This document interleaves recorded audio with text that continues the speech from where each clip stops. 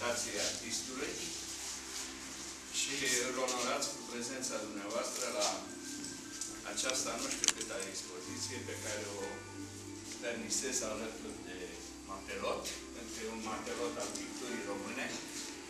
De-aia am și intitulat uh, expoziția Dragoș Vițelaru și lumea apelor. Vițelaru din uh, naștere s-a trezit cu ideea apelor curgătoare. Dunărea l-a incitat să facă din uh, tema asta, tema predilectă a creației lui. Și iată-ne în expoziția pe care cu generozitate ne-a pus-o la dispoziție domnul Gabi Gheorghe, iată-ne la o altă variantă a lumii apelor pe care o visează și o pune uh, în culori de apă sau în uleiu, pe hârtie sau pe pânză, Dragoș Vițelar.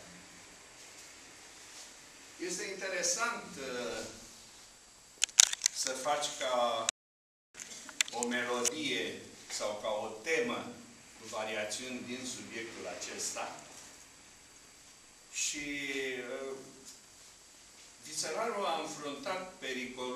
de a deveni monocol. Și asta pentru că gama lui cromatică deși stabilită în albastru și roșu fundamentale, de-a lungul timpului uh, a avut grijă să-și o uh, permanentizeze în uh, personalizare, intervenind cu accente din culorile mai calde, așa cum în etapa de acum vine aproape surprinzător de puternic cu acest, și cu aceste culori calde în uleiurile eh, de pe acel uh, teren. La Vițelaru există o permanentă, nu știu dacă pot să-i zic luptă, mai degrabă un permanent acord între iubirea de ulei și iubirea de acoarelă.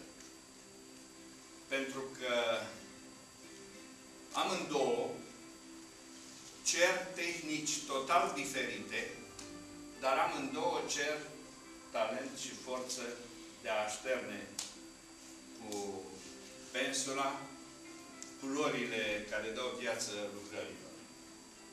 În acuarelă, ce ai pus pe hârtie, aia rămâne. Nu poți reveni, nu poți corija. De aici se cere maestrie.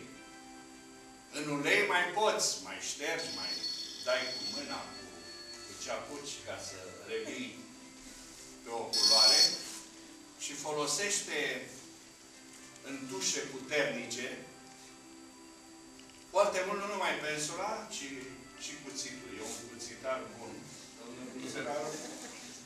Și uh, se bucură de, de arta de a face și din acest uh, instrument uh, o vibrantă modalitate de a da viață tablourilor. El, uh, pe lângă, normal, ca om care iubește uh, lumea apelor, normal că iubește ceea ce străbate apele, embarcațiunile de la bărci până la vapoare.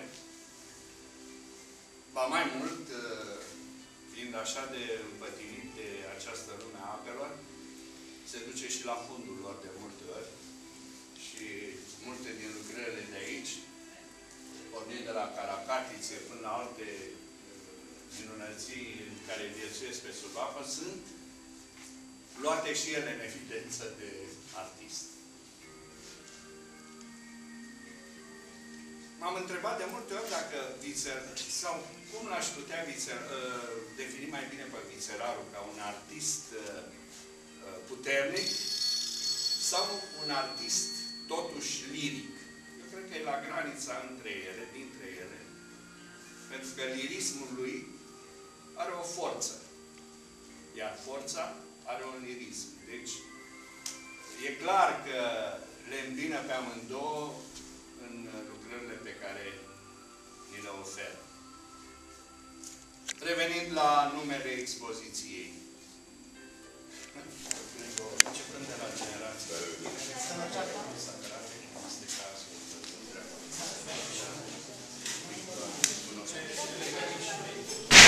pasiunea care își zămislește creația, inspirată în mod deosebit din lumea. De aceea